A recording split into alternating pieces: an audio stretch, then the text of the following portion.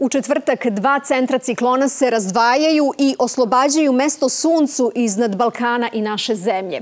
Očekuju se periodi sunčanog vremena i to prvo na istoku Srbije.